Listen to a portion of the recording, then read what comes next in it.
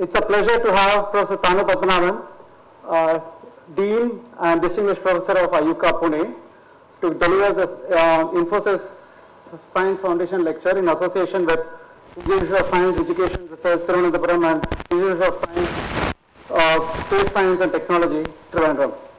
The Infosys Science Foundation lectures are a series of public talks organized to popularize science and research and to inspire and motivate young minds to pursue science as a career.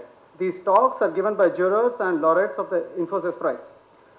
Professor Padmanabhan is the winner of the inaugural Infosys Science um, Prize in Physical Sciences in 2009. Professor Padmanabhan obtained his bachelor's and master's in physics in Kerala University and obtained his PhD from Tata Institute of Fundamental Research in 1983. Since 1992, he has been in IUCAA as a dean, which he is holding still. His research interests are gravitation, cosmology, and quantum theory. In recent years, his work has led to clear interpretation of gravity as an emergent phenomena. This approach, which has far-reaching implications for quantum gravity and provides a possible way to understand the nature of dark energy, which is what he is going to talk to us in the next one hour or so. And for this, he has won several prizes, six times in the recent years from the Gravity, Gravity Research Foundation, USA. Padmanabhan has authored nine advanced level textbooks acclaimed as magnificent achievements and used worldwide as standard references. Padmanabhan is currently the chairman of the Astrophysics Commission of the International Union of Pure and Applied Physics. He was the president of the Cosmological Union Cos- uh, Commission of the uh, Inter- International Astronomical Union between 2009 to 2012 and a Sackler Distinguished Astronomer of the Institute of Astronomy, Cambridge. He is an elected fellow of all the three uh, academies of sciences in India, as well as the Third World Academy of Sciences. He has received numerous national and international awards, including the TWA Prize in Physics, the inaugural Infosys Prize, as I mentioned earlier, the Al Khwarizmi uh, International Award from uh, the government of Iran, the Miegunyah Award from the University of Melbourne, the Millennium Medal, and the Shanti Swarup Bhatnagar Prize. In recognition of his achievements, the President of India awarded him the Padma Shri in 2007. So, uh, so we all know paddy comes from rice after removal of husk. In the next one hour or so, paddy, as uh, is often referred in the scientific circle, will remove the shaft by taking through the history of cosmos and introduce us to its mysteries to ponder. With this, I welcome Professor Padmanabhan to deliver this. Thank you, Shanky, for your kind words. And uh, I would also formally like to thank Infosys Science Foundation, which made this visit and this lecture possible. They have a series of lectures, as Shanky mentioned, and uh, I've been giving similar talks at uh, Bangalore earlier. And I said I want to do one in Trivandrum, and they arranged it with the auspices of uh, IISER, and I sat, which uh, Shanky mentioned. So today I want to describe to you some exciting results, new results in the field of cosmology. And since most of the audience is not cosmologists, I would like to start with a reassuring note that the cosmology, as we look at it today, is an extremely simple subject. There's nothing to worry about. In particular, what this guy out here is doing is one of the two things. He's either trying to look at the structure of physical laws and from that obtain something about the structure of the universe, which is shown here in an arrow here. So you want to explain the structure of the cosmos from known physical laws. And we have been remarkably successful in doing that. We now understand the universe from something like a fraction of a billion of a second to a period of about 14 billion years. We actually understand it and we can compare it with observations and the theory matches with observations. This is a fantastic achievement and it's a very satisfying achievement by any standard. But actually the real fun is not in this. It's fine, it's good. But the real fun is in the other way around. The question to ask is what happened before this 1 billion? What we understand is almost always is uninteresting compared to what we don't understand. And this is something which we still don't completely understand. And this gives us a unique opportunity of doing it in reverse.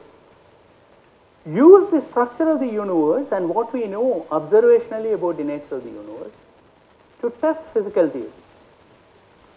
You come up with different models for physical interactions at very high energies which you cannot test in your laboratory because of your technological limitations. And you ask what its consequences will be for the structure of the universe and compare it with cosmological observation.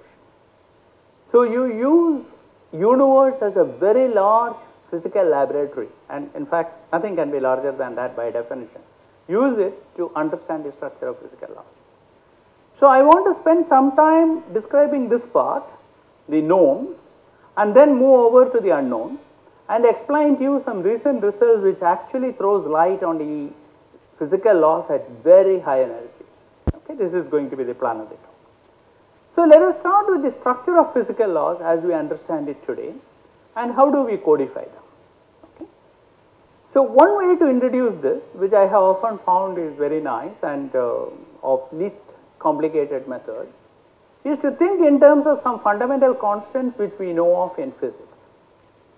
There is one constant which I have marked as G, which is the Newtonian gravitational constant, which measures the attraction between different bodies due to gravity, and this is the Newton's gravitational constant. Then there is another constant here, h or h cross, which is called the Planck's constant, which tells you all about quantum mechanics and how quantum theory interfaces with rest. And here is a constant c, which comes from relativity. So here is relativity, quantum theory and gravity.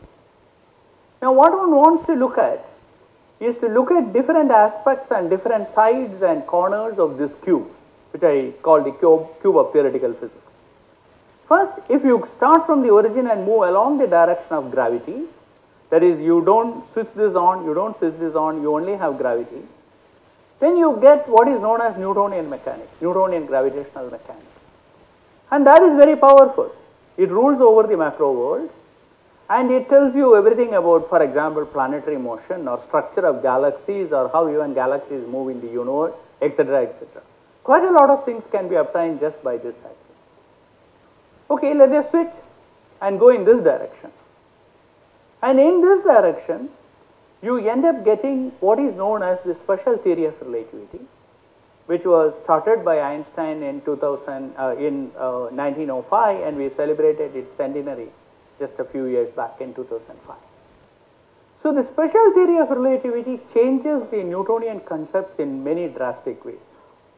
There is one thing everybody knows, E equals mc square. That is energy and mass are one and the same and are interconvertible. There is another one which is not so well known, is that Einstein's special theory of relativity told you that the space and time are very deeply interwoven with each other. We normally think of time as measured by clocks and we would have thought that whether we are walking or whether we are standing still, the clock will run at the same rate. And what Einstein showed and experiments verified is that this is not true. If you are moving, the clocks run slower compared to when you are stationary. So time is a relative concept just like space and the space and time gets interwoven into an idea called space-time, a mathematical construct called space-time. Now, if you go instead of this direction and this direction we have tried, if you go in this direction, you end up getting what is known as quantum mechanics. Just as gravity rules over the macro world, quantum mechanics governs everything which is happening in the microscopic world. For example, all of chemistry comes from quantum mechanics, so to speak.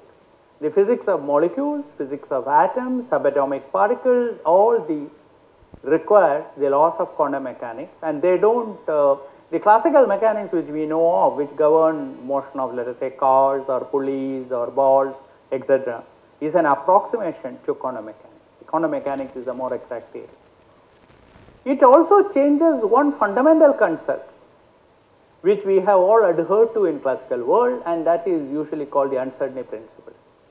If I throw a tennis ball up in the air, you can measure its speed and its position at any given time. This is what we would have thought. I know where it is and how fast it is going. Quantum mechanics tells you that you cannot do this. If you measure the position and the speed, both of them has to be in, inaccurate or inexact by a small amount and you cannot reduce the inaccuracy in one of them all the way down to zero without paying a price of infinite inaccuracy in the other one. So if you know the position exactly, you don't know what the speed is and vice versa. So we have by now introduced any one of these things. Here I introduce quantum mechanics, but I don't keep relativity and gravity, or I go along relativity, don't keep these two things.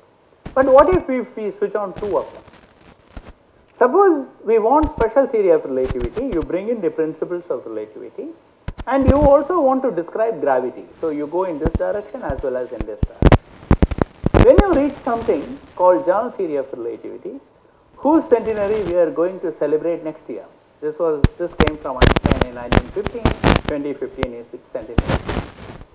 General theory of relativity again changes our concept of how you view gravity and it introduces gravity as a curvature in space-time. Special relativity introduces the concept of space-time and the general relativity makes it a curved space-time. What does that mean? Roughly speaking, here is a fabric on which you have a heavy ball. So just as this heavy ball curves the fabric, the existence of something like sun will curve the space-time around it. Imagine this to caricature of the space-time. And if I keep another ball here and it rolls down, if I didn't know there is an underlying fabric which is curved, you might think that there is a force of attraction between the two. This is how gravity is interpreted as due to curvature of space. Einstein also told us one more thing and that I have written here. It actually happens to be an exact equation. What it, but very simple but exact equation. What it tells you is that the amount of curvature here, how do you measure that? In order to see how curved it is, you just draw a circle like this. The radius of that circle will tell you how curved it is.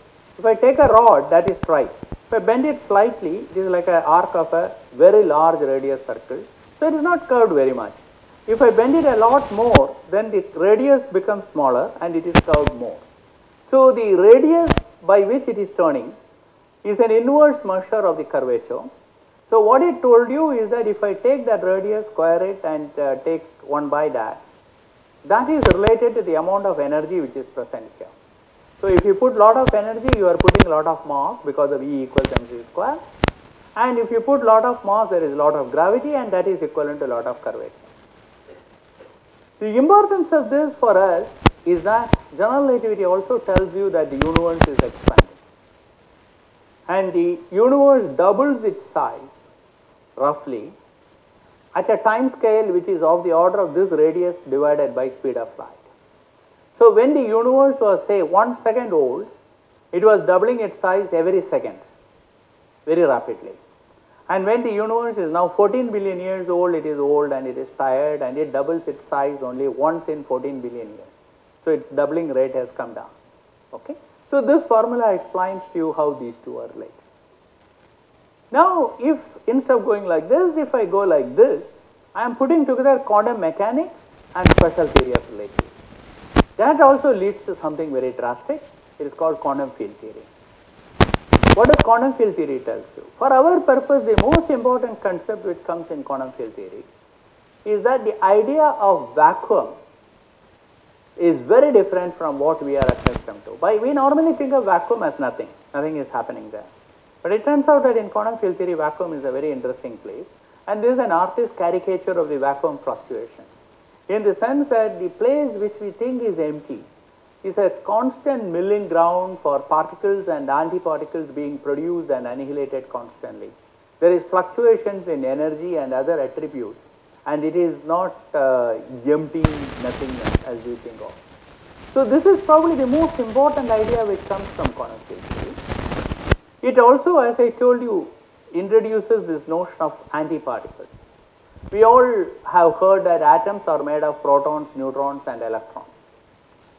To take the electron, there is an antiparticle to an electron called positron. It might sound very mysterious, but this is something which, uh, if you are not very lucky, you may have to go through a scan one of these days called PET scan, PET scan in any hospital and that P for the PET stands for positron. So this highly exotic theoretical object is being used in medical diagnostic of tumors. So these positrons are things which you can produce in a good hospital. So it is not esoteric at all. So these are the antiparticles of electrons and there are antiparticles to every particle which we know of and that is a result from theory. So I have done all the two-step processes as well. Now the what remains is to switch all of them on. We want quantum theory, we want relativity, and we want gravity. Unfortunately, I don't have a photograph to put here because this idea has not succeeded. So, this is the domain of what you call quantum gravity and this is in some sense is the unknown final frontier today.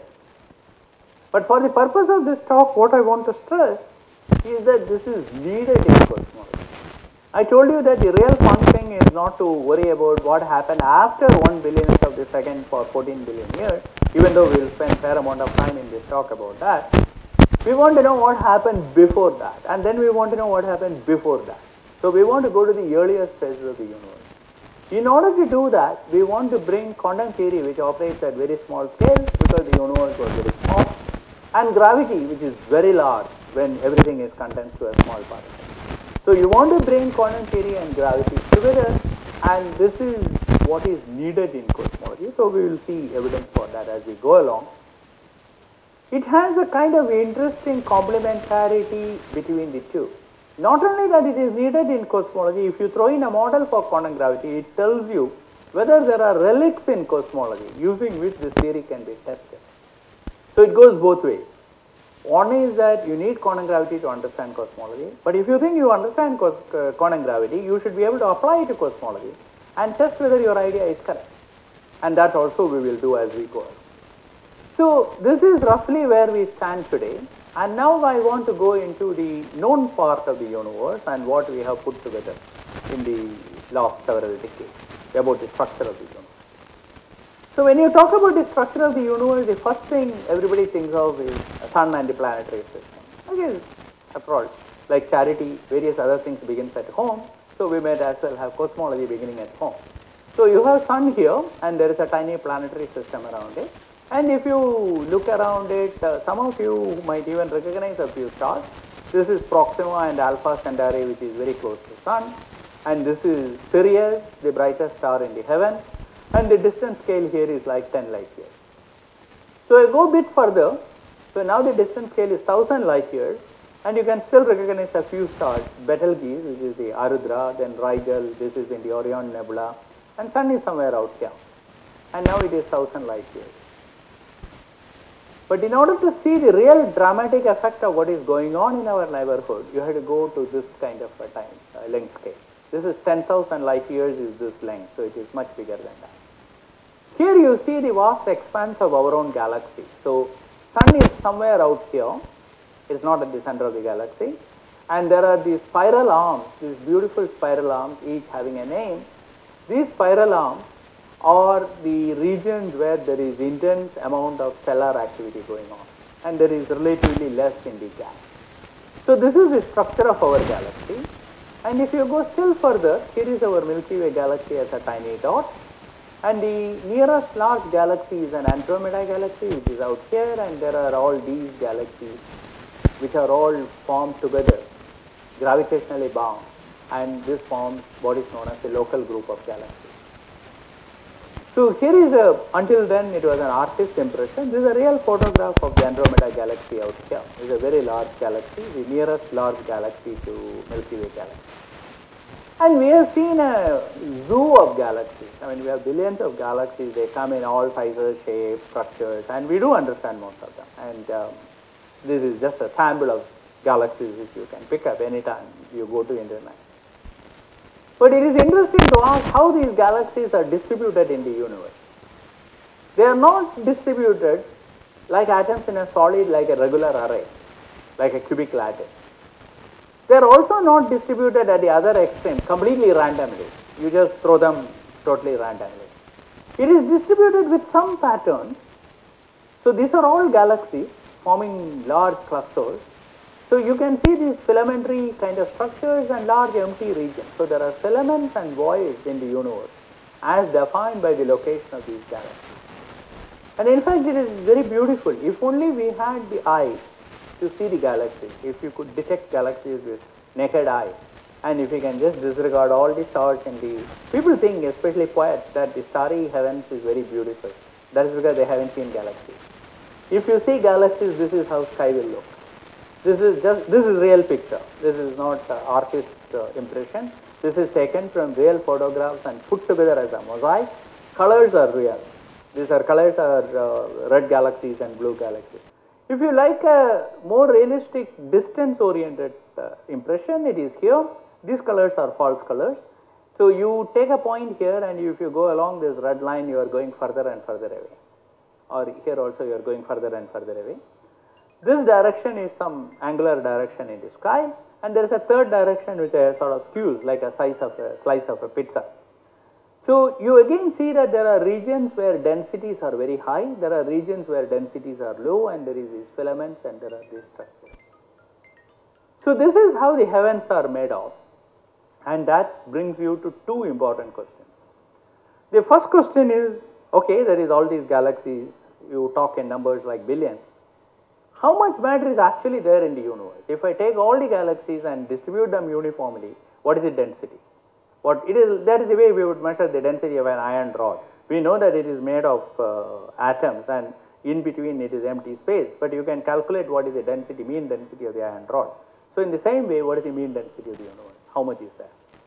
Second, more important, how did all these structures form? Where did all these galaxies come from? Can we understand that using our laws of physics? So let me start with the first one. The way you measure the total amount of matter in cosmology is in terms of a very convenient number, which is the last letter of Greek alphabet, it is called omega, which roughly measures the strength of gravity to the rate at which the universe is expanding. All that you need to remember is that if omega is greater than 1, then the universe will expand to a maximum size and will then collapse back. If omega is less than 1, it will continue to expand forever. Omega equals 1 is the critical borderline and there also it expands forever. Now omega equals 1 is a special universe and many theoreticians believe that is very very beautiful universe. I agree with them. But ultimately you have to measure what is the omega for the universe which can be determined by observation. So people did this. This game has been going on for 3-4 decades. So first thing to do is to take all the visible galaxies, add up their masses, measure their masses, add them up and then divide by the volume and get the density. When you do that, you get a number which is very tiny. You typically get 5%. Instead of 1, you get 0.5, uh, 0.05. So you get about 5% of the amount of matter you need to make the universe recollapse. And of course, then the universe will expand forever and it is nowhere near unity. However, there is a catch. This observation is based on all the matter which is emitting light. So you can ask, are, is there matter in the universe which is not emitting light? There could very well be. And in fact, observations tell you that there is a lot more matter in the universe which is not emitting light than the ones which is emitting light. How do we know that? Let me give you a couple of uh, ways of measuring this. So here is a visible galaxy, you can measure all the visible mass out there. Conveniently for us, it is, think of it like sun. Sun is very visible and it is emitting light and you can measure its mass. But you have planets going around the sun and by measuring the speed with which a planet is going around the sun, you can again estimate the mass of the sun. Just like that, there are tiny hydrogen clouds which are not emitting light, but the tiny hydrogen clouds are going around this and you can measure their speed from the radio emission from that. And using that you can estimate the mass. Now if the galaxy is entirely made of this visible matter which we see here, then the speed with which these hydrogen clouds should be going around it should follow this, this curve. What we observe is this. So the difference between these two tell you that there is lot more matter here than which is emitting light and this is called the dark matter and these are called the rotation curves of the galaxy. Another way of measuring this effect of dark matter is shown here. So if you look at this picture, you can see all these arc-like structures. Very beautiful. There are these things and there is some giant arcs here and an arc here. What are these arcs due to? These arcs are actually normal, honest to God, elliptically shaped galaxies. But these galaxies are far away behind and then there is in between there is a very large galaxy cluster which is coming in our line of sight from the distant galaxies and that. And the light from the distant galaxies as it passes through this cluster of galaxies get distorted. Because in Einstein's theory, light bends when it goes near a massive body and the massive body acts like a lens and it also distorts the image. So what you see here is the distortion of nine galaxies into the arc-like shape due to intervening gravitating matter. By measuring the amount of distortion, you can measure how much matter is there.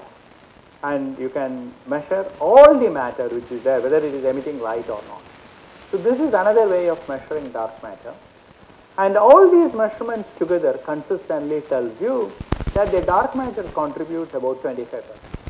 So the normal matter you and I are made of is like 5%, this is about 25%, we are getting there but only still 30% and while the theoretical number was 1. Okay, so just keep that in mind.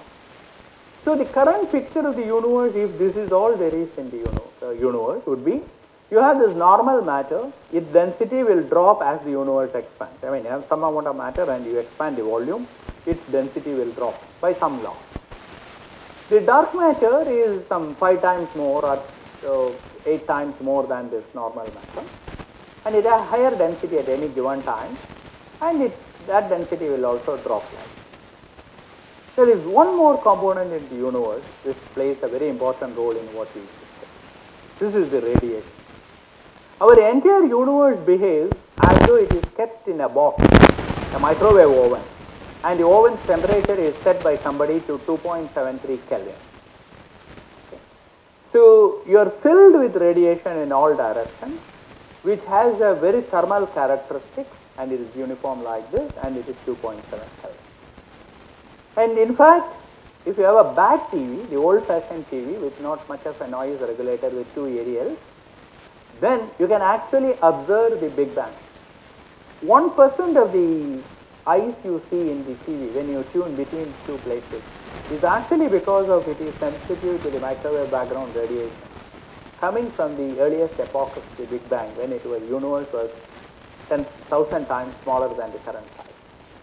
So this is something which one can measure and that radiation falls steeper, faster than the normal matter because of uh, its different properties.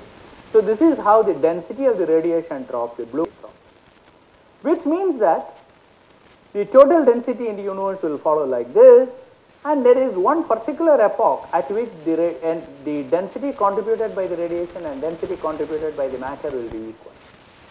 So at that time you can measure what this density is. It is denoted by the Greek letter rho and you say rho at equality. This is a pure number. Now I want to drive the cosmology talk into a direction of three numbers. There are three densities in the universe. If you tell me them, I can build a universe for you and everything about the universe is contained in these three numbers. So the theoretician's job is to understand these three numbers. So this is first of the three numbers. And we believe that high energy physics can tell us what this number is because it can tell you how much radiation is there and how much dark matter is there eventually. So you can find this number. Now let me address the second question which I told you about, namely how did all these structures come into being? That is very important because that is the question man has been asking for years. So there's a very easy way nowadays.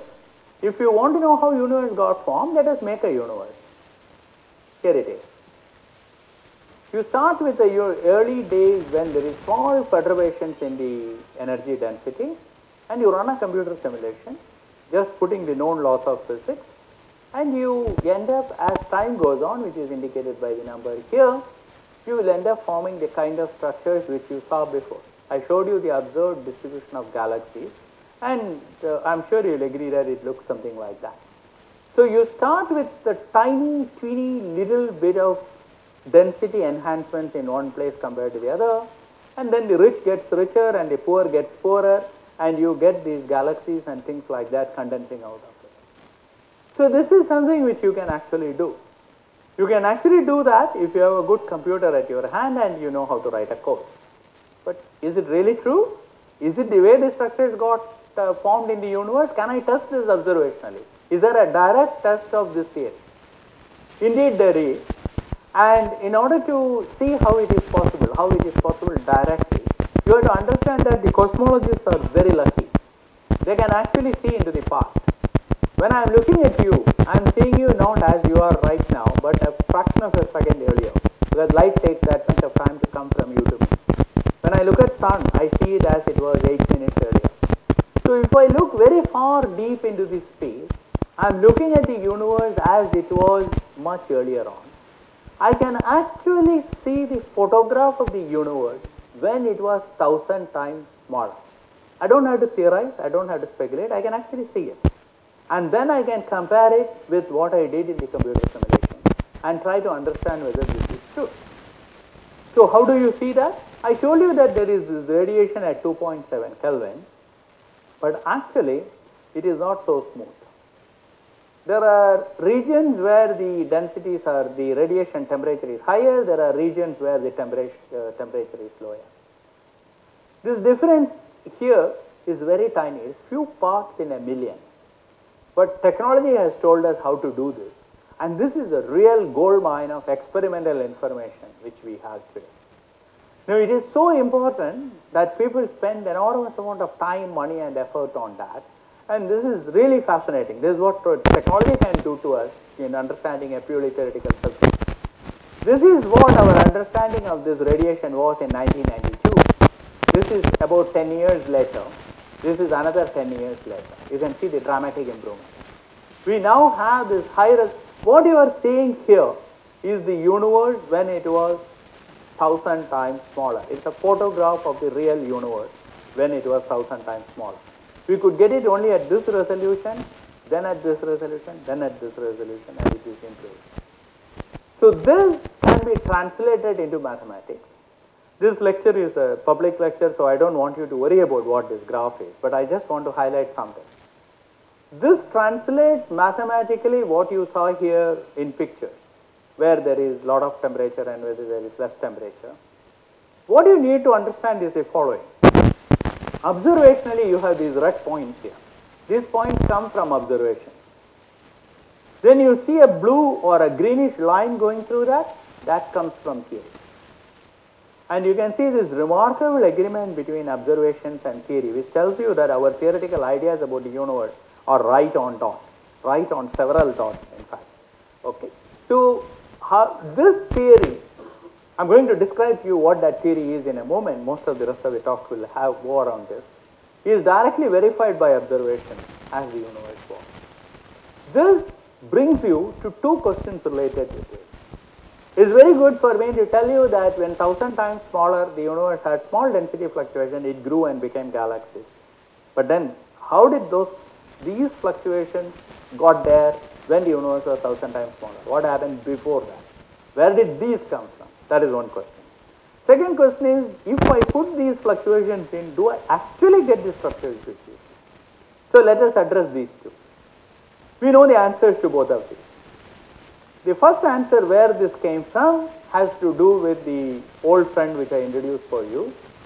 The vacuum fluctuations in the universe where we thought there was nothing and these fluctuations in the energy in the very early universe grow due to gravitational effects and form structures like this. And then if you put these structures into your computer and you drive the universe forward, you do see the kind of galaxies which we have. So I want to spend some time describing to you both of these. So let me first do this part. So here is the vacuum fluctuations leading to these uh, these uh, fluctuations you see in the sky. But if you want this to work, this idea works and leads to what you see only if there is what is known as an inflationary phase in the very early universe. So I want to describe that to you. I told you that there is the radiation energy density which goes like this and there is the dark matter energy density which goes like this. So if you go into the past, these two things will keep increasing. So we thought. But what the inflation tells you or what the observations which I showed you this tells you is that there is a time when this has to turn around and the universe should have had a constant density even at this stage. A constant density means constant curvature. Constant curvature means constant doubling of time which means that the universe is expanding very rapidly. Uh, think of your national savings certificate, which used to double, let us say, every eight year or something. And if you leave it alone every eight year, it will keep doubling, which is a very rapid growth. So the universe was expanding very rapidly whenever densities are constant. If densities are dropping, it doesn't expand that rapidly. What these observations tell you is that you had a phase like this in the early universe. And that can produce one more density for you. I first told you that there is a density, a number, pure number, which, which tells you where these are. Now you need one more density, which is a constant density at the inflationary phase. Okay?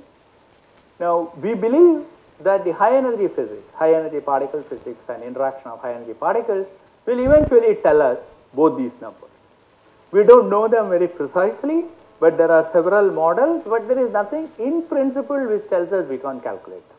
So in principle, these two numbers are calculable, so there is nothing mysterious about it. Okay, now let me come to the really mysterious part of the universe. You would have thought it happened very early on. No, it is happening right now.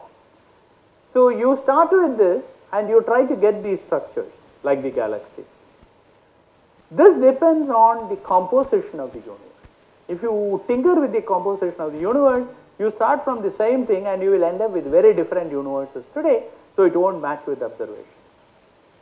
What it tells you is that the universe should have a very weird composition. It should have about 5% of normal matter, it should have about 25% of dark matter, this we have already seen. The remaining about 70% should be contributed by something called cosmological constant. I'll explain in greater detail what a cosmological constant is, but roughly speaking, it is a term you add in Einstein's theory. Okay, you tinker with Einstein's equations and add a term there. This is what used to be called, and some of you might uh, read in popular literature as something called dark energy. Okay, but whenever I talk about dark energy, people get confused. They start thinking of Darth Vader and Star Wars and things of that sort. So I thought I will demystify it. It is just a term which you add into Einstein's equation. And that is consistent with all the observations which we have. So it is just a algebraic term. Now, what, how do I know that? See, I told you that this is the composition I want and I want a cosmological constant there. So can I test this? Is it pure speculation or is there a test? So everything in cosmology today is observational oriented, even very esoteric theoretical part. You can test this because this cosmological constant is constant, which means the density it provides is constant. And I just now told you that if density is constant, universe will expand with acceleration. It will expand very rapidly, just like your money grows in national savings certificate. So the growth which is generated by that is accelerated growth and we want to measure whether the universe is really accelerating or not. This we can because I already explained to you that if you go deeper and deeper into the space, you are looking at the universe earlier and earlier. So just go and look at some object 1 billion years older and ask whether at that time the universe was expanding with a rate bigger than the current rate, lesser than the current rate. Then you know whether the universe is accelerating, whether its speed of expansion is increasing or decreasing. It's as simple as that. Well, it's actually not as simple as that. The problem is when you go deeper and deeper into the phase, you are looking at objects further and further away and the light from that gets dimmer and dimmer. So in order to catch them, you need bigger and bigger instruments. So this is again a technological challenge and it's very beautiful how technology comes hand in hand with theory in cosmology. We couldn't do it before, but Hubble Space Telescope first did the breaking of the barrier because once you put the telescope up in space, it opens up new vistas and it can see deeper. Nature has also been very kind to us. So there are very massive stars which at the very late stage will explode as something called supernova.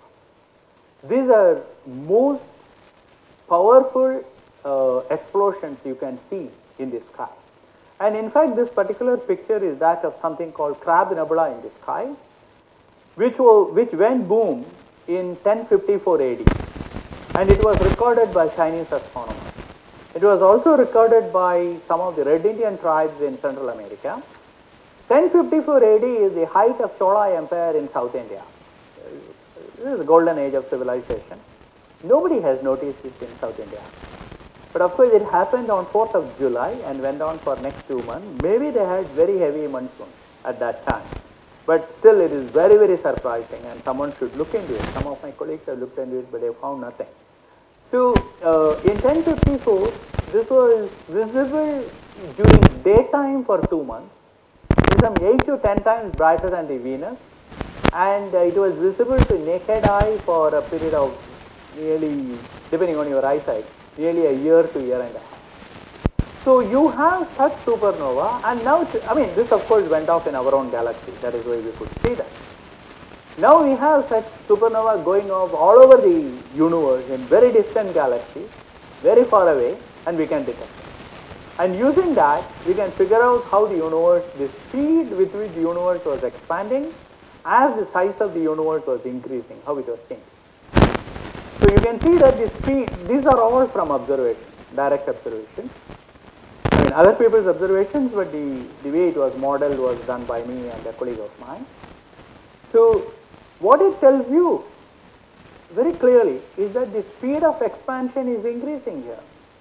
If the speed of the car is increasing, you are accelerating the car. So the universe is accelerating. It is stepping up gas here. It was decelerating nicely and then at some stage it started accelerating. So this is what observations tell you. You can convert these observations into how the density is changing. The density was nicely decreasing, but it is reaching a plateau. And this plateau is what I call the cosmological constant, give or take some constant factor. So there is a constant energy density in the universe which is maintaining this plateau. The question is, what is this object? So this is, I, I have already told you that this is something which is called cosmological constant. What exactly is it? Mathematically it is very simple. It is a term which you add into Einstein's equation which acts effectively like matter with negative pressure. What do I mean by that? Well, imagine a balloon. Balloon is filled with gas. And if the balloon, if the gas makes the balloon expand, in order to expand it, it has to do work. That work has to come from its energy. So as the balloon expands, it will cool down. Its energy will come down. But if the balloon is filled with a gas which has negative pressure, then it can still expand the balloon and still maintain its own energy. The energy need not come down because it has negative pressure which compensates. That is what the cosmological constant does. So it doesn't change, it is there and it is uh, driving every other expansion of, the universe. And that uh, in some sense it is like a sleeper agent. It had a, exactly the same behavior all along. All other energy densities just dropped down and when it dropped down it started dominating and it is driving the expansion. Virtually every theoretical physicist believes that this is probably the most important puzzle in uh, theoretical physics. So let me explain to you why. I told you that this is the way the cosmic density goes in the nearby region. If you add this cosmological constant, then when the density drops below that, of course the cosmological constant will kick in. So it will turn around. Now add to it this point where you had rho eq, you already have two densities here. And I told you that during inflationary phase you had one more density. So I have now introduced you to the three most important numbers in the universe. There are three densities. One density of the universe when the universe was inflating very early on. There is one density which characterizes when the matter and radiation was dominating and another density which has just started dominating very recently and that is driving the accelerated expansion of the universe. So there are these three numbers which we want to understand. But if you look at it, of these three numbers, these two I told you high energy physics can tell you. We have absolutely no idea where it comes from. And I want to introduce you where this problem is. So this is this cosmological constant. It can be equivalently thought of in terms of a quantity which, uh, which has the dimensions of inverse length square. Okay, it can be measured in centimeter square per centimeter square. What you can do is to go and uh, introduce three more constants which we have talked about right at the beginning, the G, the H and the C. So you are bringing together gravity, quantum theory and relativity and you are bringing the cosmological constant also along with it. This object has dimensions of square of centimeter, square of the length. This object has the dimensions of 1 by length square. So the product is a pure number. It could have been 13.8. It could have been 25. So it is a pure number based on which our universe is built. It's a design parameter of our universe because the universe has g, it has h, it has p, it has lambda. So this number, you want to know what it is. We have, we know what it is. Number happens to be 10 to the power 123 minus 123. So for those of you who are not mathematically inclined, let me explain what this means. We normally talk in terms of small numbers as 1 by 10, 1 by 100, 1 by 1000, 1 by million. So it is all 1 by a number which is 1 followed by certain number of zeros. 1 by 100 is 1 followed by 2 zeros or 1 by 1000 is 1 followed by 3 zeros. So you write 1 and follow it with 123 zeros and 1 by that is what this number is. Now the, theoretically we have absolutely no clue where it came from. At least this was the situation in last two years. So in the last part of the talk I want to claim that we now have an understanding of this number. So this was the major problem in theoretical physics. You can write this number in very many different ways. For example, the inflation energy density to this energy density is something similar. So you can write down various numbers and these are all either very large or very small numbers. So the question is where it comes from. So I told you that this is a major problem in theoretical physics. People knew about it. Lot of people worked on it. And I am going to claim that we have the answer. So you may ask how? How come people missed it? And uh, this explains why people missed it. And in case you haven't read this book, you should go and read it. It's a delightful book. So the way people attacked this problem before us was that they thought, yes, there is this lambda and uh, we don't understand its value, so let us attack it and let us figure out what its value is. I don't think that is the right way to go about it. The problem actually has to do with gravity. There are two questions about gravity which is lying behind it. The first thing I can ask in the form, why is gravity immune to energy shift? So let me try to illustrate what it is. I told you that there is a constant density here, which is plateau. Suppose I change it and I lower it or suppose I increase it. I can do, I can set that scale anywhere. I can do this by just changing what kind of matter I have in the universe because I can define the zero point level of the energy by rising it or lowering it.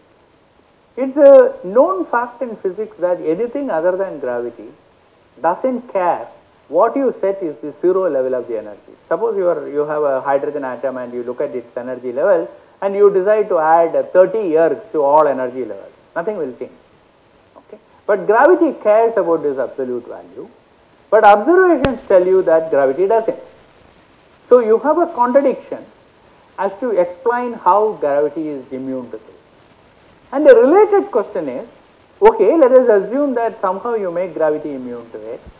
You still have to understand where that level is. Finally, in the universe, that zero level is set at some number and you need a theory which will explain for you that number, that very tiny number, 10 to the minus 120. So you need both of these. So this is the number which we need to attack. Now it turns out that in order to solve this problem, you need a completely new perspective. You need a paradigm shift in the way we have been looking at gravity itself. So what we came up over the last 10 years or so is that what we thought of gravity could be all wrong and the gravity could be what physicists call an emergent phenomenon. So I want to describe to you first what I mean by an emergent. In fact, all of you know what an emergent phenomenon is except that that term is not very, very usually used. So you take something like elasticity. So suppose I have a rod and you are an engineer and you are going to use this steel rod to build something, maybe a bridge maybe a beam in the concrete. You want to know all kinds of elastic properties of the rod, but you don't really care what atoms, what iron atoms are doing internally. You don't give a damn. All that you want to know is the Young's modulus and the stress and strain of that rod and then you can build your bridge or you can use it in a cantilever. So the elasticity is a theory which has a life of its own, independent of what the matter is made of. Same with fluid mechanics. Suppose you are studying the gaseous properties, a chemist is studying gaseous properties. Many times if he is interested in the macroscopic gas laws, he is not really bothered what the microscopic atoms are doing. So these are examples of elastic uh, emergent phenomena. And uh, at least uh, all the all the students, probably even plus two level students will be familiar with an equation like this. This is called the ideal gas equation. It relates the pressure, volume and temperature of an ideal gas. This was known before people understood what the gas is made of. What our studies suggest is that gravity and the equations of gravity is like this. The gravity describes the physics of some kind of atoms of space-time.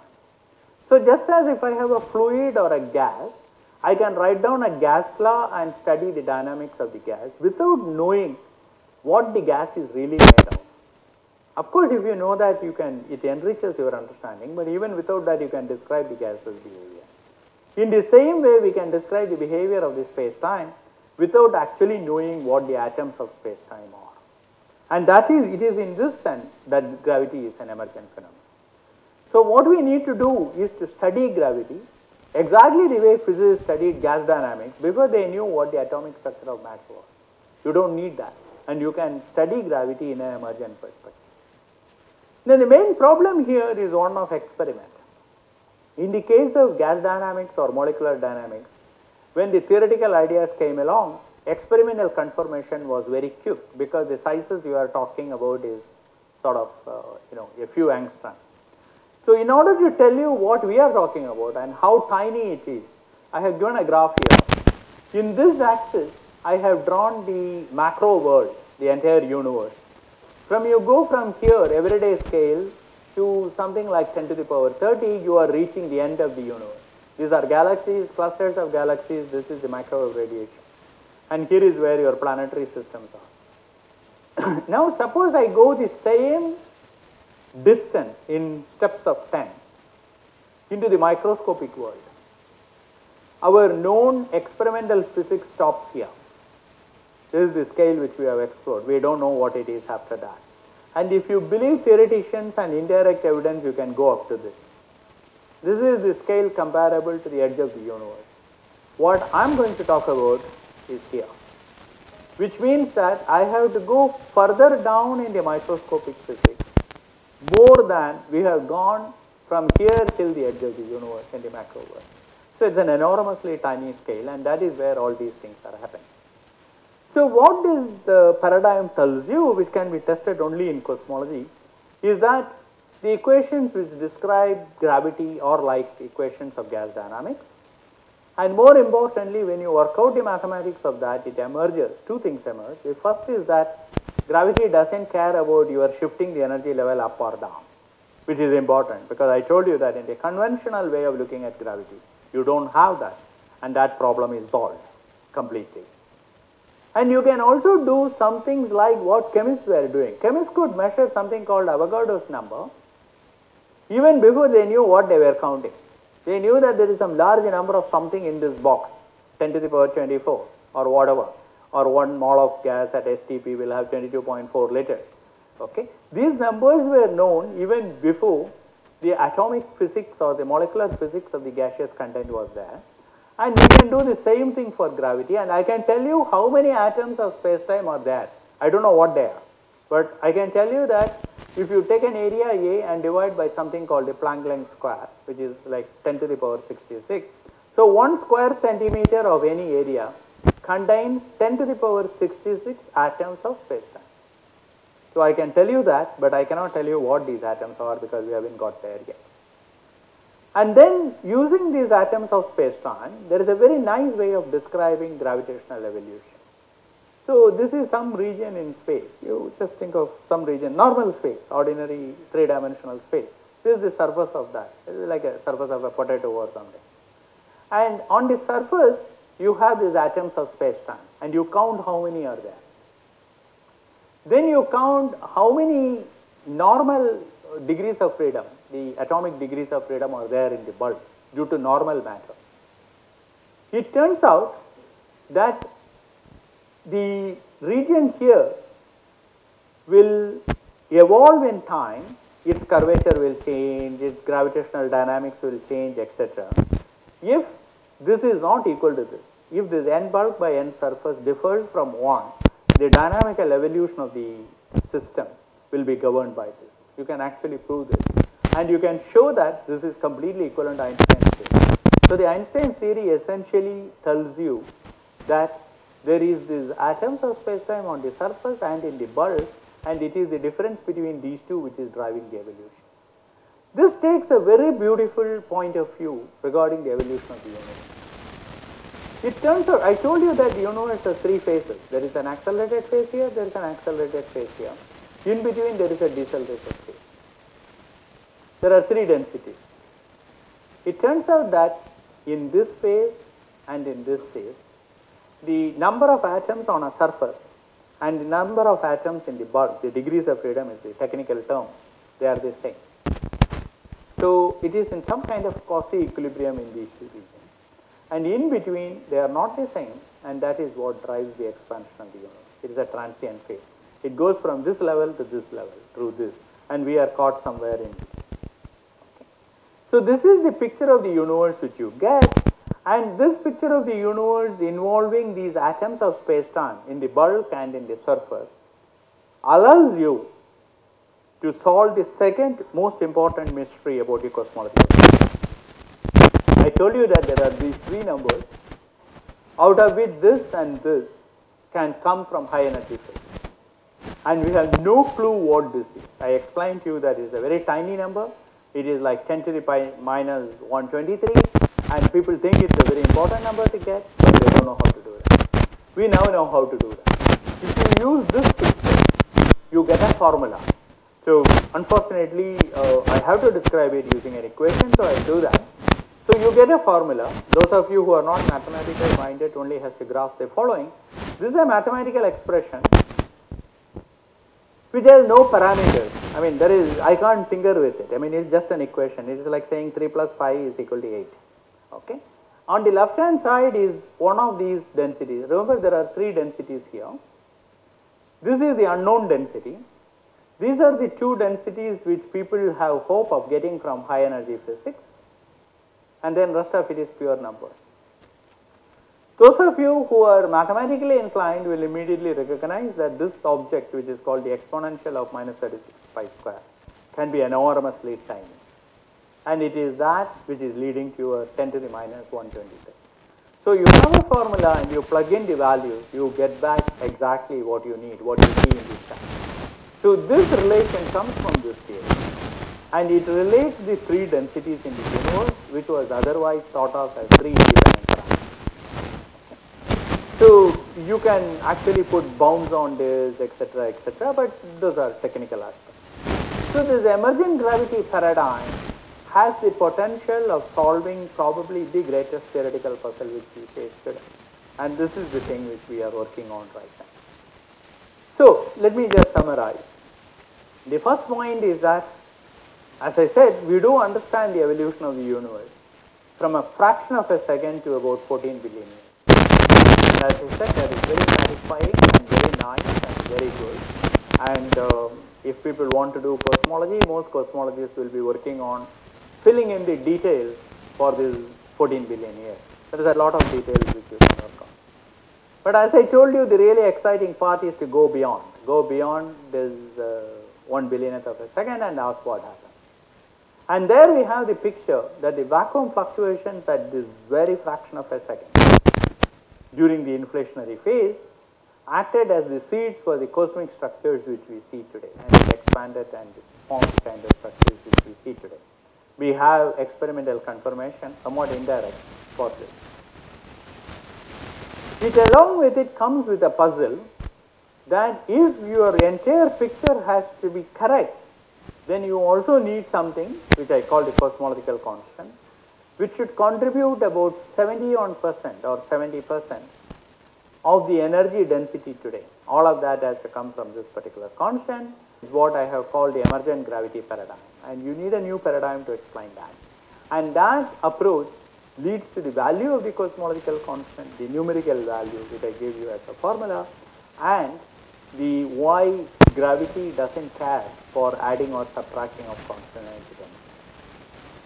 So this is the, as I said, this is the way where things stand today and we want to take this further and understand the very early movements of the universe by this approach. Thank you very much.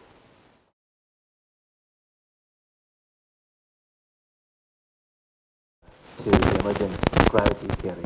No, not really, because the way string theories would approach the problem is from bottom up. So the philosophy of string theories is that suppose we know what molecules of the gas is, then using that I can get you the gas laws. So that is the way they are approaching. My point of view is that we do not know what the molecules of gas is and it is a little premature to assume we do. Therefore, it is much better to go the other way around, the way the theoretical physicists did in 17th century or 18th century. Start with the known laws of gas and go down and see what the microscopic structures has to be. That has the advantage that it really doesn't matter what the final ultimate theory of quantum gravity is, whether it is string theory or loop quantum gravity or something else. I don't care because all of them has to lead to this, if they are right. If it doesn't lead to it, they are wrong because it is like having a molecular theory which does not lead to ideal gas equation. Okay. The disadvantage is that just knowing ideal gas equation, I am never going to be able to tell you what the molecules are made of. Okay. So in order to do that, we have some ideas like we want to bridge the gap by going from both directions and approaching it. So I, I believe there are some good ingredients in string theory. There is a principle called holography, which is reflected in something which we have been approaching from the top down. But I think most of what string theories has been doing is excess baggage and it has to go. Well, scientific controversies have a way of never getting resolved. It just goes away. My opinion is those results are, uh, I would treat it with extreme caution. Because when it came itself, I was suspicious for technical reasons because they have observations only in one frequency and they had no good way of subtracting. They are seeing something. The question is whether they are seeing the polarization due to some material in between or whether it is actual cosmic macro. Yeah, yeah, but that is the frequency. But at that frequency, the polarization measurement could have been contributed by the foreground material. No good way of subtracting it. So that was the controversy all about and it turned out that uh, by the time they published the paper, they have retracted most of their original claims. The paper got published in Physical Review Letters. There in the abstract itself, they say that uh, it is possible that this is not, this effect is not real. Not really, but we will know for sure in October because the competing team, which is the Planck team, which could not see this when they first analyzed it, is uh, rapidly looking into this. And they will, they have much better control on their measurements and they have measurements at different frequencies so that they can do a subtraction. So they will be able to, if they confirm this, then fine. If they don't confirm it, I would not uh, take this seriously. Sir, I have a doubt regarding that cosmological constant. Now, is this the same constant which Einstein himself had introduced into his equations in order for the universe to, to stop from expanding, or is there any connection between the two? Is identical. Or identical? Okay, but the, that history is usually a bit distorted, so let me just explain that in a minute. So, uh, when Einstein actually wrote down these equations, he solved it and he found that the universe is expanding. Now, even Einstein hesitated at that time and he said that, oh no, universe can't be expanding and people will say I am crazy, I am crazier than they were saying before. So, let me stop the universe from expanding. So, he added a constant and thought that with that he can stop the universe from expanding. But it turned out that very gratifyingly Einstein made an algebraic mistake in his calculation. So as a result of which what he thought was a stable solution was unstable solution and very soon other people, especially De Sitter, pointed out that even with this constant, universe can expand. So the purpose for which this constant was introduced was not served. And also he later on, there is a kind of a statement in the popular press that he called it his greatest blunder in his life. This comes from George Gamow's writing in his autobiography. And there are other things in George Gamow's writing in autobiography which are not uh, completely accurate. So we are not sure whether this quotation can be taken very seriously. Good afternoon, sir. You've been speaking about an accelerating universe all the time. Thanks. Then, uh, what about the Hubble constant, which speaks about objects moving away at a constant velocity? The Hubble constant can tell you that objects are moving away with a constant velocity. Hubble constant tells you is that if you put an object at a distance x, it will move with a velocity v, If you put it at a distance 2x, it will move with a velocity 2v. So the velocities are not constant in uh, Hubble constant. What it is telling you is the rate of expansion. Now what we are asking is the time derivative of the Hubble constant. That is the Hubble constant today is some value. Suppose I look at the Hubble constant at a earlier epoch and a Hubble constant at still earlier epoch. The rate at which the universe is expanding is that itself changing. Now think of a car which is going forward. It is always going forward. The universe is always expanding. But it can go forward with greater and greater speed. It can go forward with slowing down speed like a car trying to come to a halt. So the question is which of these two models are correct. What we now realize is that universe is in a hurry and it keeps going with greater and greater speed. So looking at your plot, the once it comes to the rho lambda, Yes. the energy density is going to stay constant. Yes, So that means that the universe is going to keep expanding at an accelerated that's rate. correct. So is there anything that will lead to uh, further decay of the density or is it going to be stuck there forever? Yeah, the, if the current pictures are correct and uh, our interpretation of the cosmological constant is correct, it is going to be stuck there forever. And uh, it is going to be a pretty boring place to live some few tens of billions of years down the line. Okay, so it is, it is going to keep expanding with ever accelerating phase and things will just recede away. And there is nothing, because it is just a constant term in an equation, there is nothing which can dynamically affect this cosmological constant. So that is the end of the life of the universe will be. Well, uh, it turns out that the vacuum fluctuations which I talked about in the very early universe, which created all these things, happened in a phase of accelerated expansion.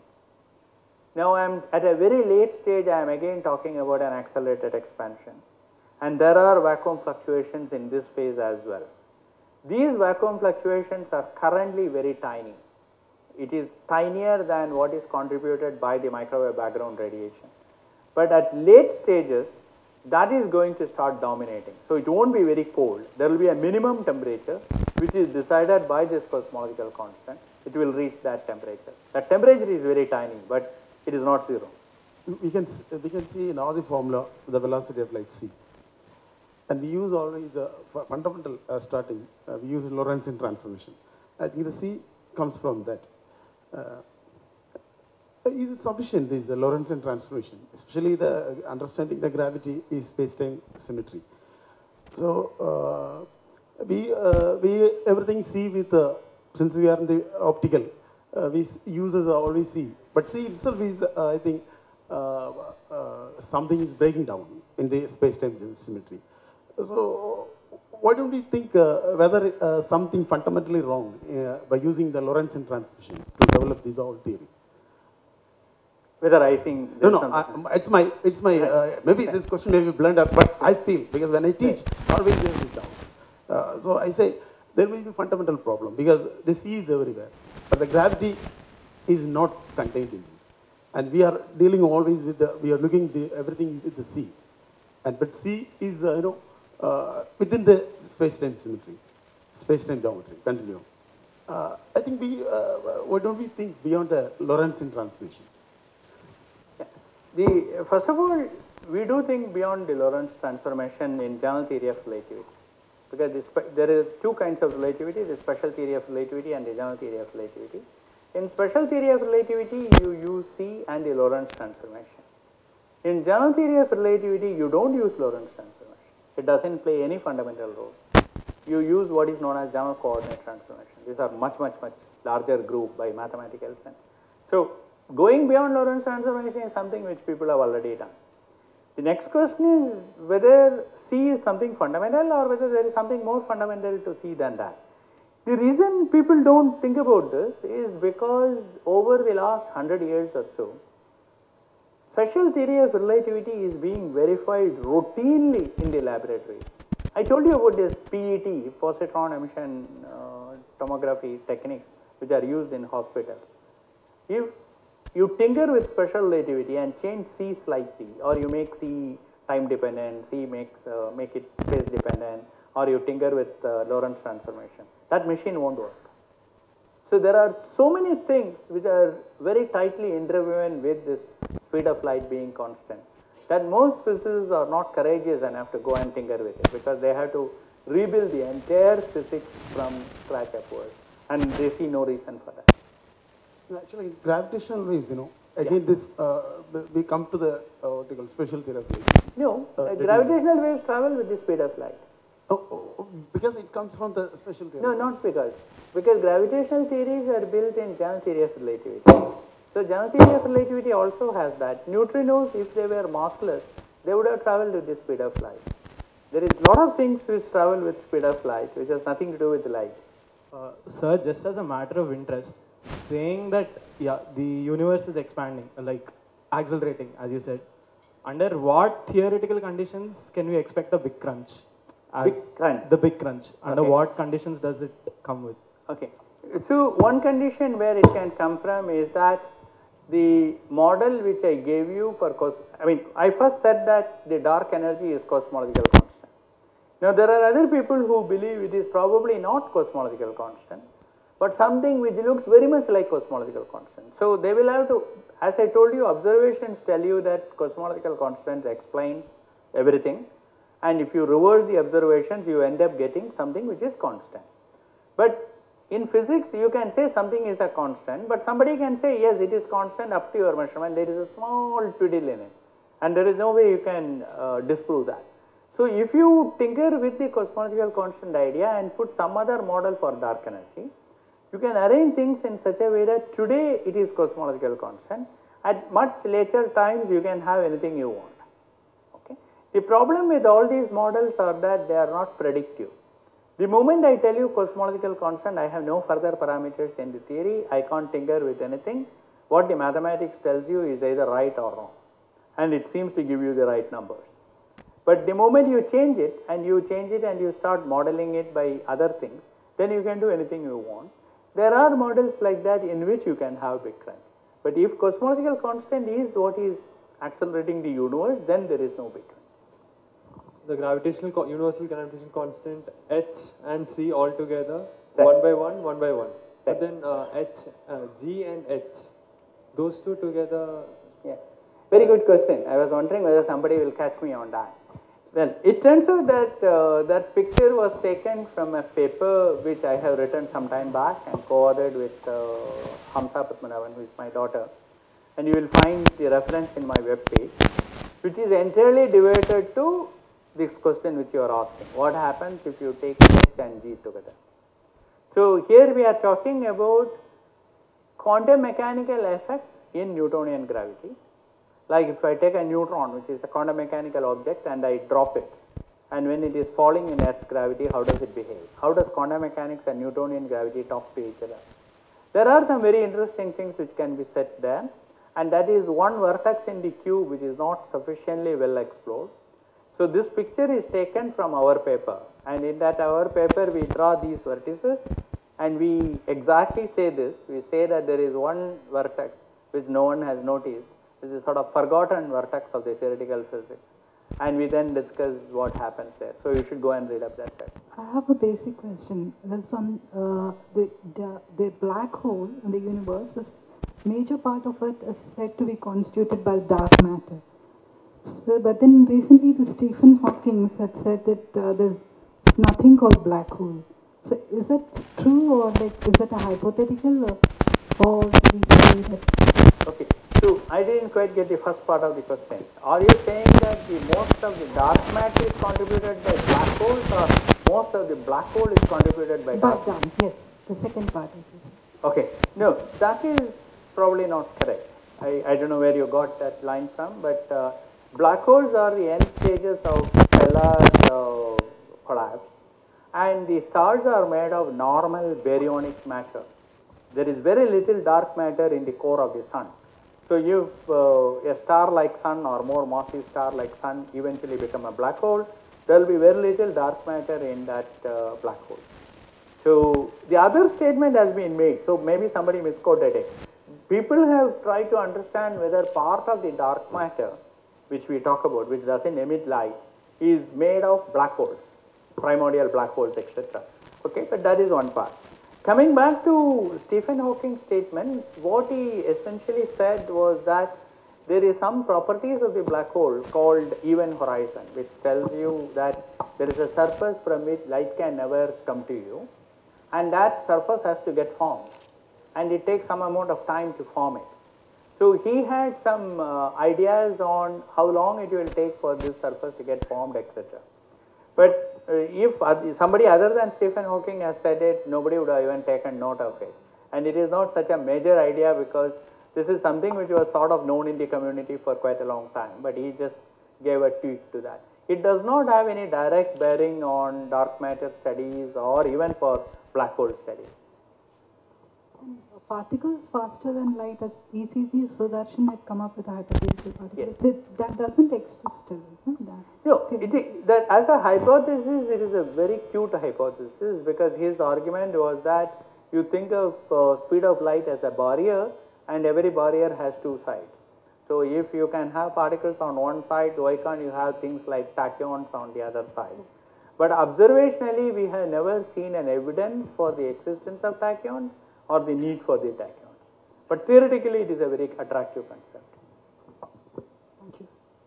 Sir, uh, everything you said in the presentation was considering the Big Bang theory.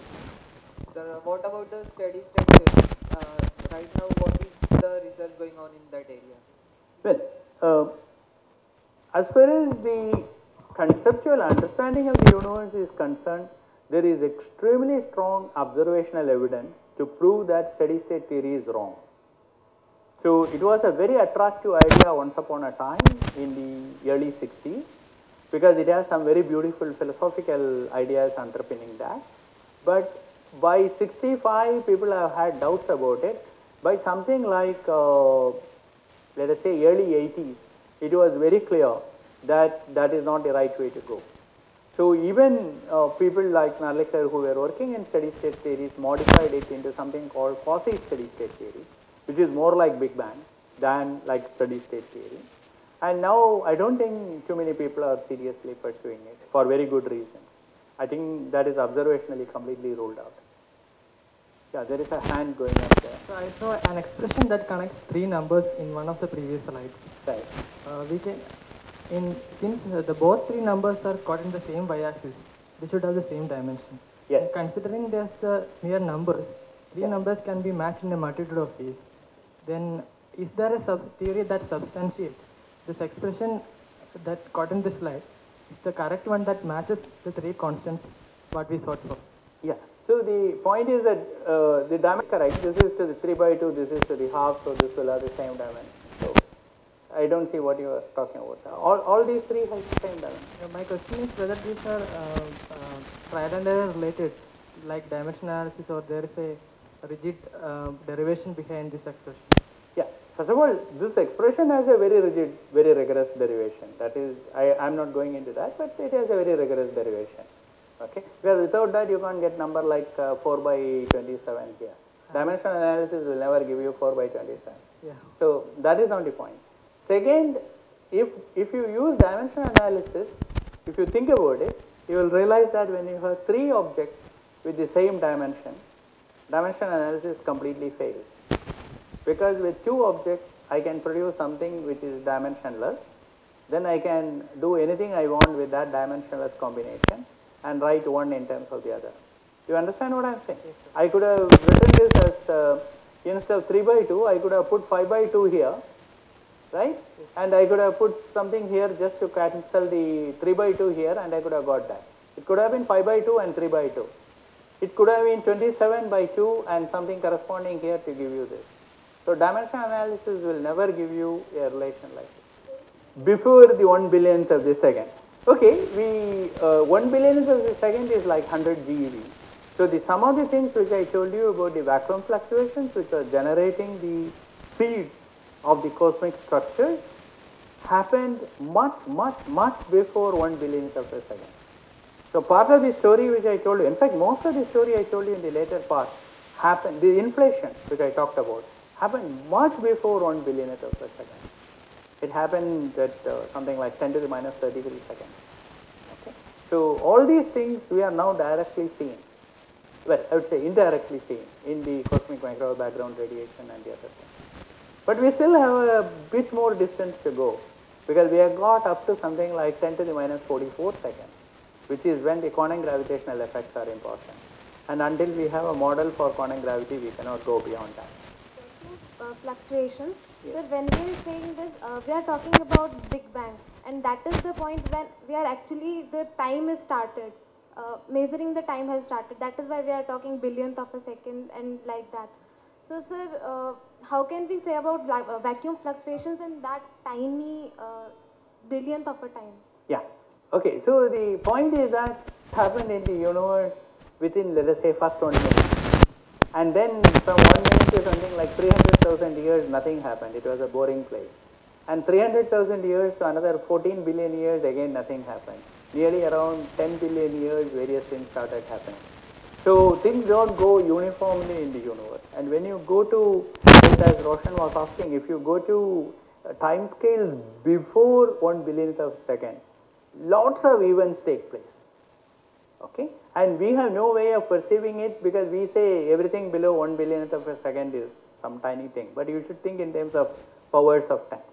So if you do that, then you can go up to this number which I told you, which is 1 part in 10 to the 44 seconds.